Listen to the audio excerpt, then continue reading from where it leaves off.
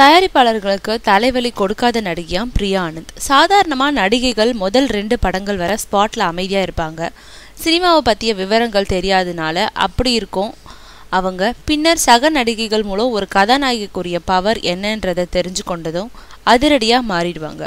ஆனால் அப்படி மாறிய பல நடிகைகளிலிருந்து எதிர்நீச்சல் பிரியா ஆனந்த் மட்டும் வித்தியாசமானவராக இருக்கிறாராம். அதாவது இப்போதும் அவர் எந்த தயாரிப்பாளரிடமும் இந்த தொகையை சம்பளமாக கொடுத்தாதான் நடிப்பேன்னு அவர் வாய் விட்டு சொன்னதில்லையாம் தனக்கு அவங்களா நிர்ணயிக்கிற சம்பளத்தை தான் வாங்குறாராம். அதோடு இந்த மாதிரி நவீன வசதி கொண்ட கேரவன் தான் எனக்கு வேண்டும்லாம் சில நடிகைகளை போல படப்பிடிப்பு தளத்தில் தயாரிப்பாளருக்கு தலைவலியை கொடுப்பதும் இல்லையா? கேர்வனோ ஹோட்டல் அறையோ எதுவாக இருந்தாலும் வசதி வாய்ப்புகள் குறைவாக இருந்தாலும் எந்த ஆட்சேபனையும் தெரிவிக்காமல் தங்கிக்கிறாராம்.